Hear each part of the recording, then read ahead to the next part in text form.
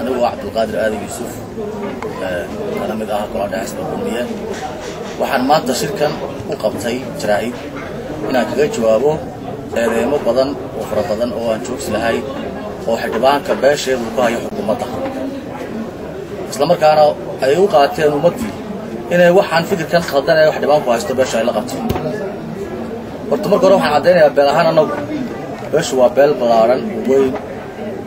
Fikirkan axmed yaasiina lama qabto. Axmed yaasiin wuxuu ahaa xildhibaankii aan soo doorannay kharashkaygii iyo lacagteedii u hurnay. Wuxuu ahaa wakiilkii dooda noogu jiray laakiin kamuusoo bixin kamuu soo bixin kaalintiisii.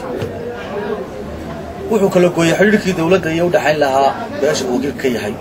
Gabay xilkii aan u doorannay wuxuu galay waxyaale aan loo diran oo ah eedayn iyo aflagaado uu ku hayo madaxda qaranka mar walba.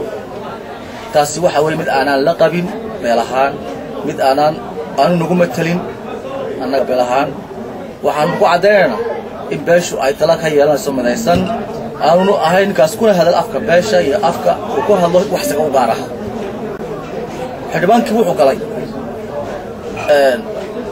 inuu ka hor yimaado horumarkii iyo wax kastoo la qabto wanaagsan uu fadaaxad ka dhigo. Taasi waxay noqonaysaa taasi waata keentay inaan ka jawaabno oonu ka hadalno waxyaalaha uu ku jiro maanta. Beesha aadayos maaha beel xildhibaanku uu leeyahay. Laakiin xildhibaanku isagaa beesha aadayos ka mid ah. Waa shakhsi ka mid ah beesha. Waana wakiil ay soo doorannay oo noogu jira goraa wakiilada ayuu ah laakiin wuxuu gabay wakiilnimadiisii. Markaa maanta waxaan leenahay oonu ka shirnay markaanu is aragnay waxaanu ka shirnay in aanu ka hadalno arrinkiisaasu shalayto xildhibaanku beesha wuxuu ku hogaamiyey xisbi dhacaya oo wuxuu udur soo shalay wuxuu ku hogaamiyey beel beesha wuxuu ku hogaamiyey xisbi dhacaya.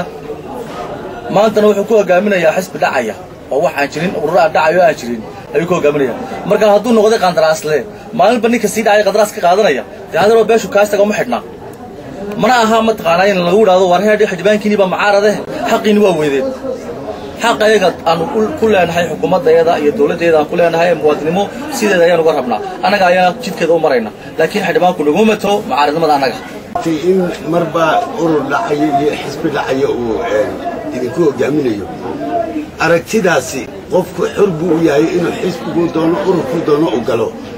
Maxaad idinku ku diidantihiin inuu dee inuu meel ilayn inuu dhacayo inuuna dhacayn ma caddayn kartaan idinku maxaad ugu diidantihiin inuu meel wanaagsan idiin horseedo?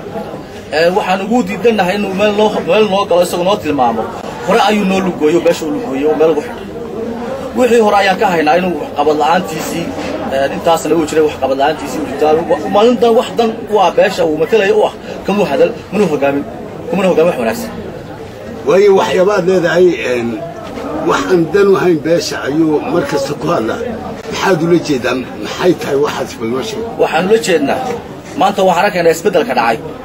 Waxaanu arkaynaa jidkii inoo dhismaya oo halkaas soo socda. Xukuumaddii uu tobanka sano ku soo jiray rayaale dee hal kilomitr inoma dhisi markaa tii wax qabanaysay hadduu eed kala hor yimaado oo uu noqdo nin horumarkii nacab uu beeshiina magacaygi wato uu xildhibaan ku yahay miyaan markaa nugu ahayn shaabad xun?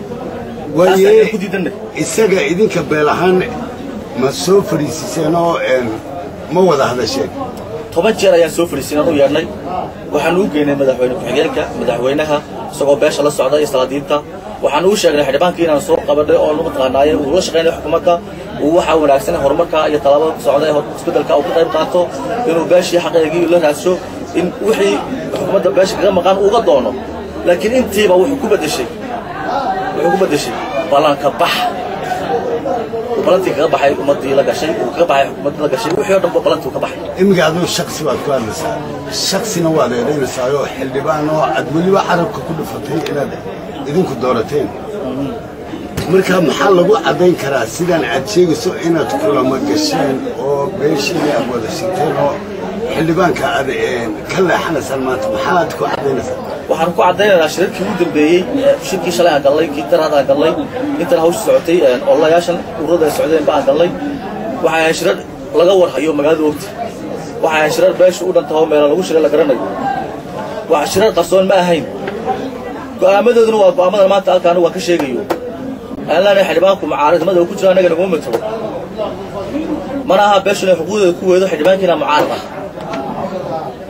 taas ayaan leenahay marka xildhibaanku isagoo hadduu noqday nin maalinba ninka wax inuu dooya caaya. Ninka maalinba inuu wax fadaxayo doonay soo maro dhaa cabdiyaasiinow hee waxaasaa dhacay baa layidhi dee ka hadal. Oo imsaad siinays intaas ka hadal oo isaga kolba lagu laga hadashiinayo taas anaga inagu tacaab yeelna mayno.